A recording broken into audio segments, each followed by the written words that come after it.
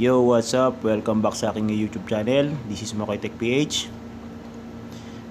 Ito, meron naman tayong isang ah, video tutorial regarding sa LED TV.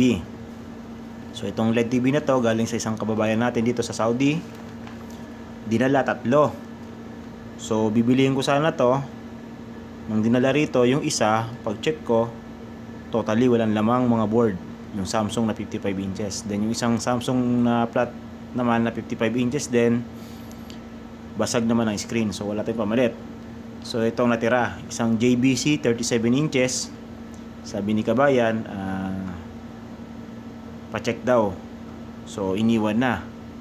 So actually itong uh, LED TV na na JBC na to na-check ko na to. So ito check natin para malaman nyo din yung problema. Yan pinalagin ko na Power on natin sa remote.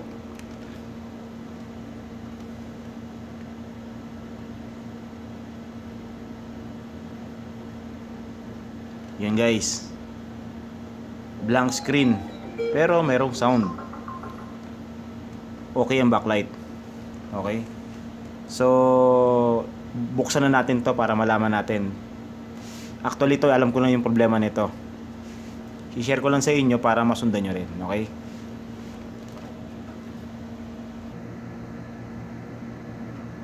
Yan yung model niya. JVC LT37 N530.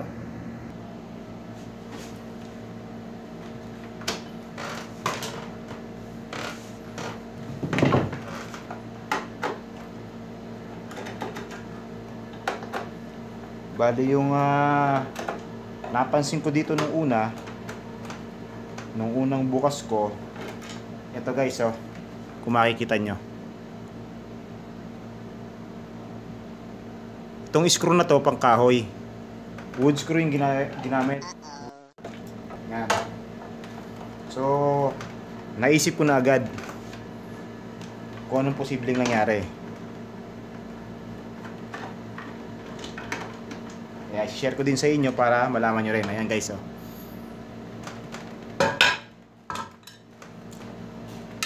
So, buksan ko.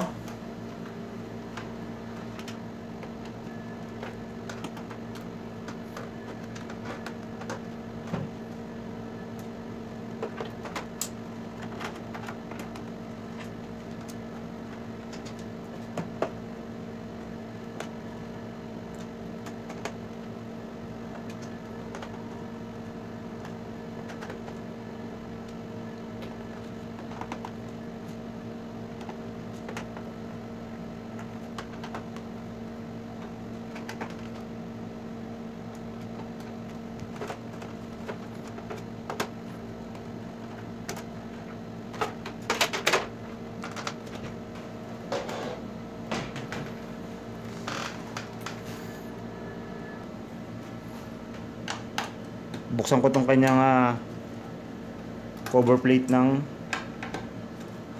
ng Ticon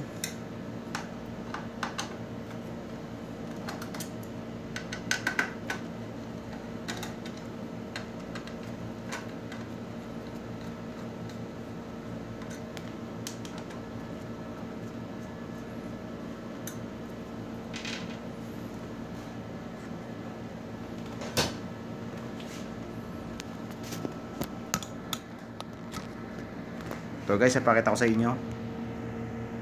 Yan guys, oh. Kung mapapansin nyo, ayun, may butas dito. Ayan oh, butas. Yan. Saka, ayun. Tumagos yung wood screw na ginamit.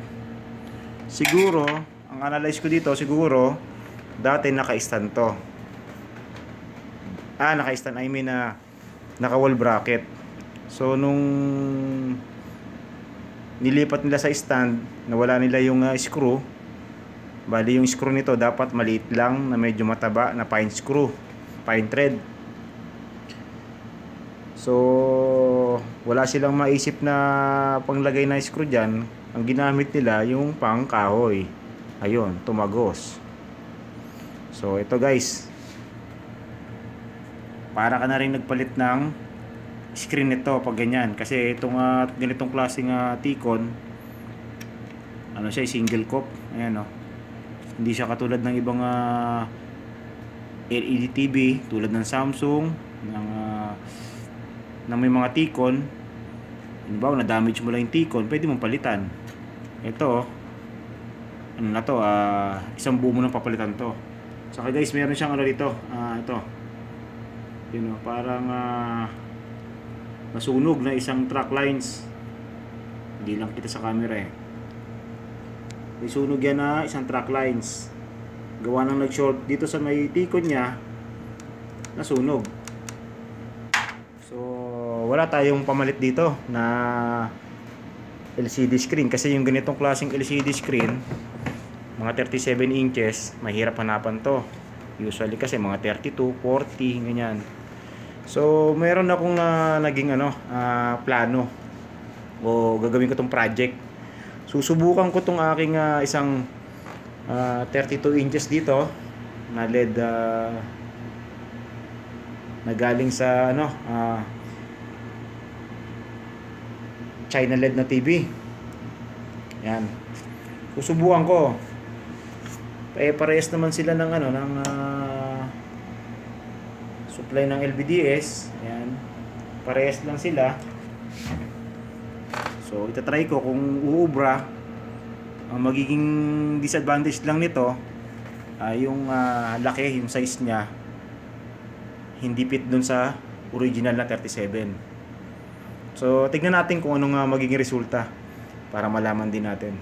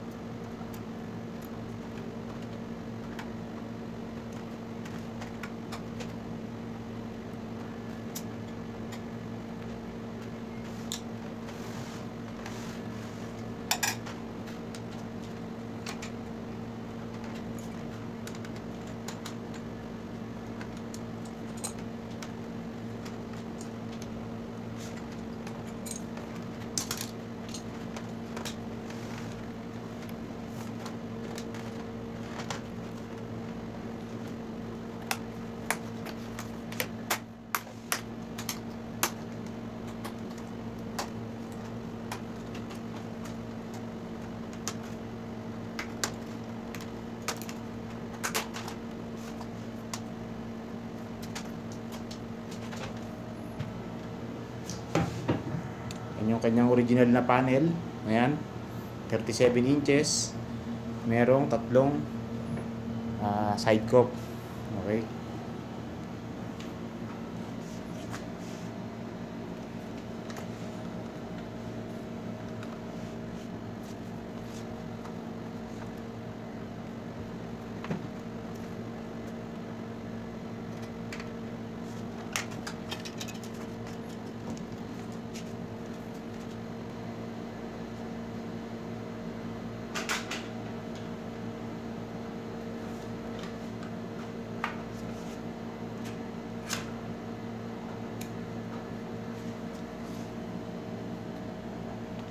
Yan guys yung uh, plano ko ipalit sa kanya.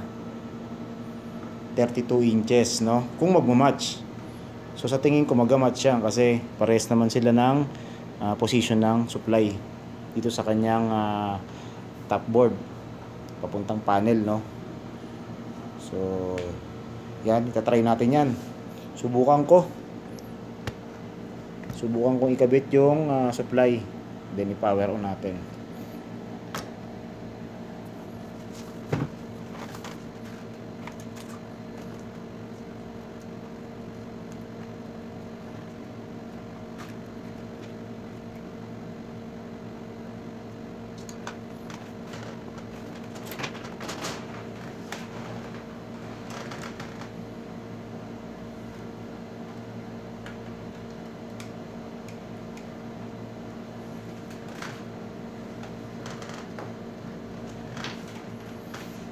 So guys, plugging ko. Plugging ko na yan. So power on ko.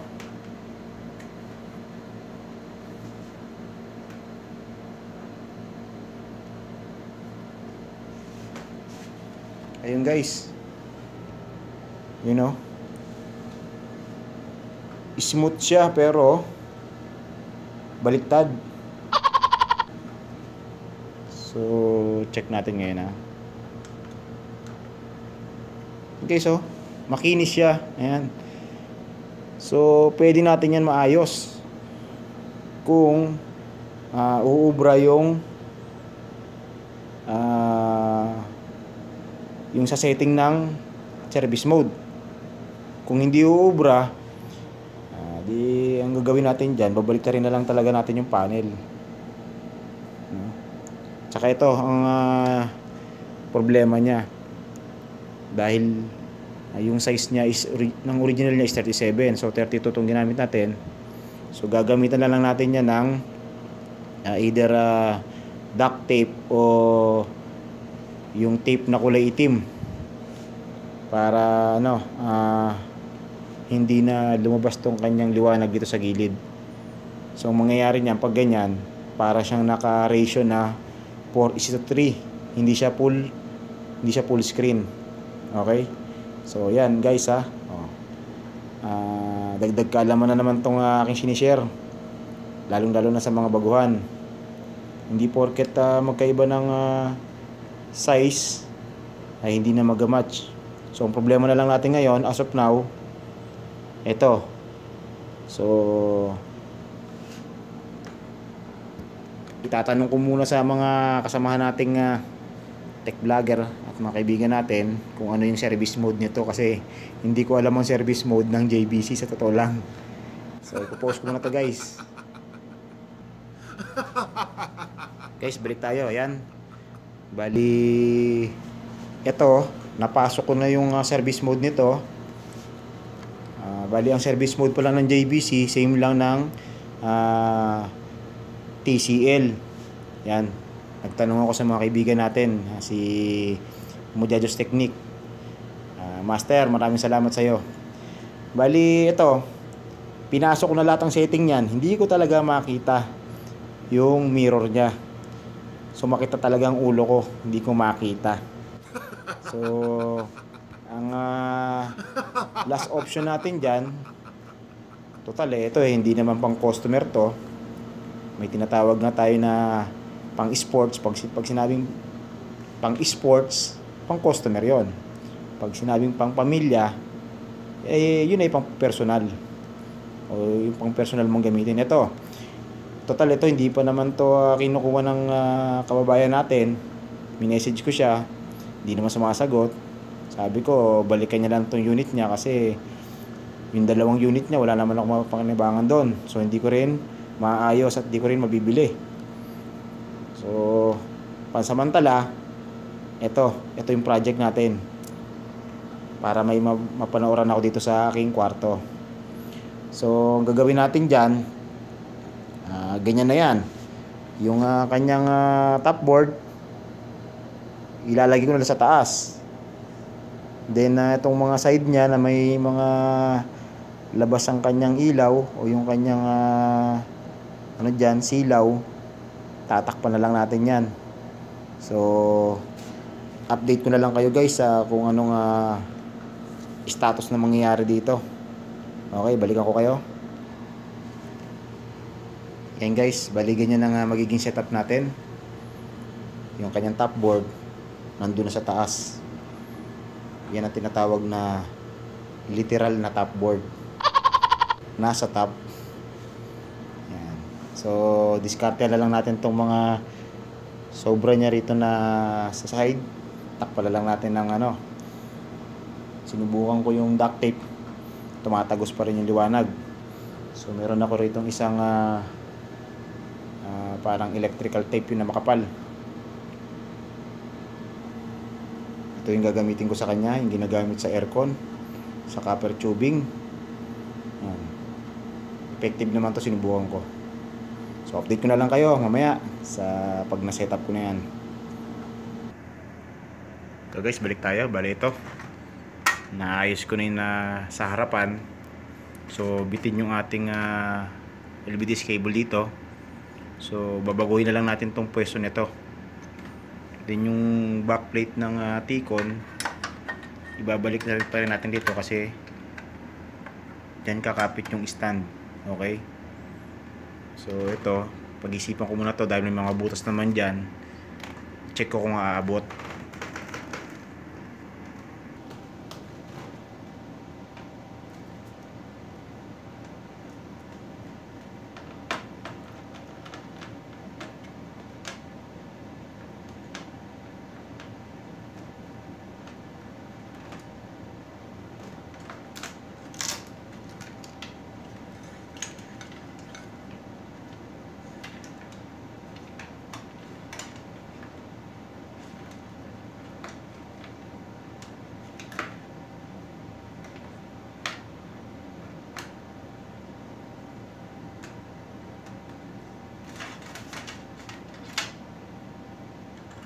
Ginabot dito.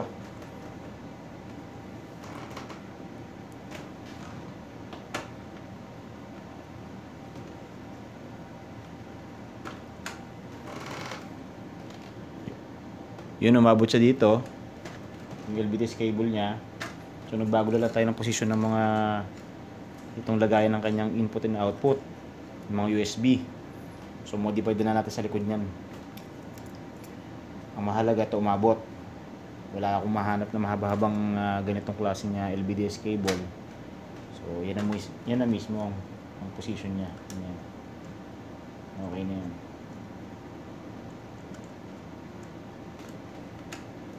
Lagyan ko na lang insulator dito sa ilalim para hindi dumikit. Ito siguro, pwede na to.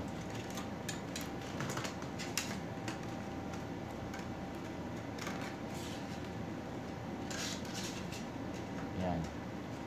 Okay na yan. So, balik na ko, ko kayo guys. Uh, pag uh, final set, final na tayo na ng ano, testing. Ayusin ko lang to. Yan guys yung setup sa likod. Okay nagbago ako dito ng, pwe ng pwesto ng mga saksakan.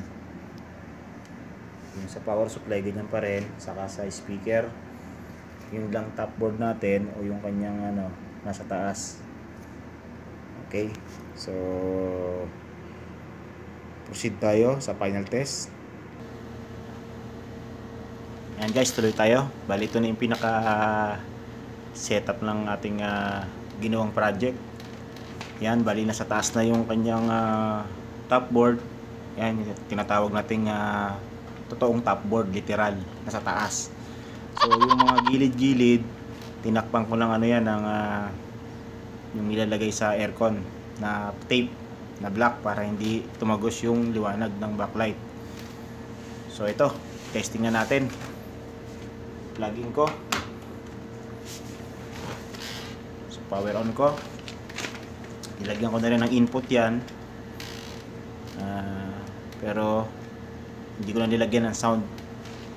At uh, napakahigpit ni Lolo ngayon. Nadali dalawang video ko. Ayan guys oh. Ayan yung kanyang uh, ayan may sound na yung So yan guys, uh, ito malaking tulong to sa mga baguhan. Uh, nagkaroon kayo ng idea dito sa ginawa ko, hindi lang uh, hindi lang basta-basta tinatawag dito na same size. Kahit uh, magkaibang size po pwede, no? Basta match lang yung position ng uh, supply ng panel kung nasa kanan o nasa kaliwa. So, nang dahil lang sa wood screw. Ito na ginawa ng uh, ating uh, customer. Hindi ko alam kung customer ang gumawa niyan. Pero malamang yung customer ang may gawa niyan. Nawala niya siguro yung uh, original na screw niyan sa stand. Kaya nag-provide siya ng screw ng kahit anong screw na lang. Eh ang uh, ang kamalasan niya yun nasira niya yung yung pinakatikon. So yan guys ah bali shoutout natin yung mga kaibigan natin. So bago ko pala shoutout yung ah, mga mga kaibigan natin mga kasama nating mga tech vloggers Binabati ko nga pala ng maligayang kaarawan ng aking anak na si Lorraine Jaisel Esabilla. Nak, ah, ang wish ni Daddy sa'yo ay lagi kang maging masaya at maging matagumpay.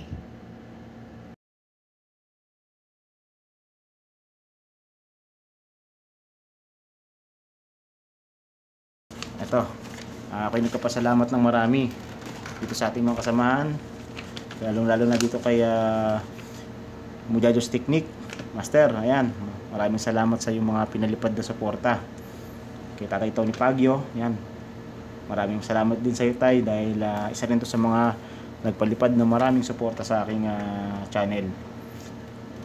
Yung mga kong sila Marco Francis 713 Mix Vlog, Alex Bautista Difficulty in Electronics, Pix in Review, si Sir Joey Tech PH, si Ryan Crosit Tech, uh, Brother Ryan Crosit Tech, maraming salamat sa mga pinalipad mo.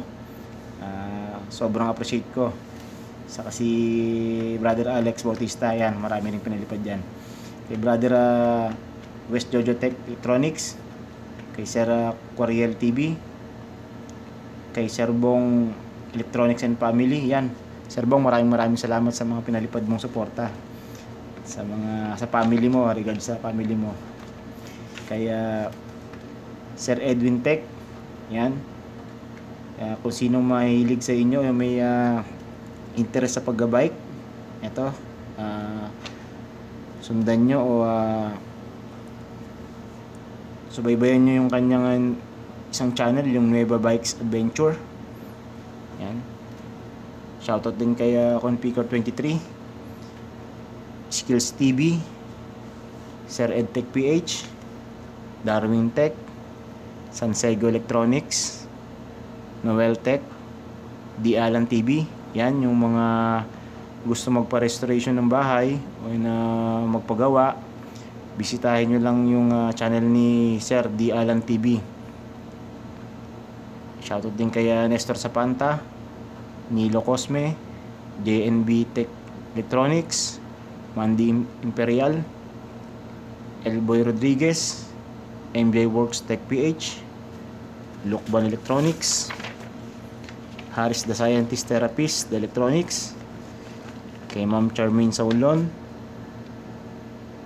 Glenn Karaan, Denvine Dayan Electronics, Wilson Bagtas, Hermstock, care of by uh, brother uh, Ryan Crossy Tech, George Tech Official, Searchy Tech, Manong Lakay Channel, Agila ni Ryan, yan yung mga suporta ni brother Ryan, Joy Masoy TV, welcome back sa YouTube, Samuel uh, Benaventura, Jack Repair, My Vlog TV, Angelo Belena, Nino Tech PH, care of by brother Rosit uh, Brian uh, brother Ryan Crusit pa rin yan.